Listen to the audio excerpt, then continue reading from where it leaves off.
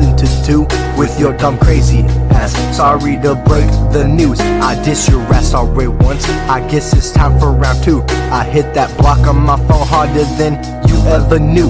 But bitch, I'm back in all black, attacking mics with my raps. Girl, you lied and that's that. No, I'm not texting back.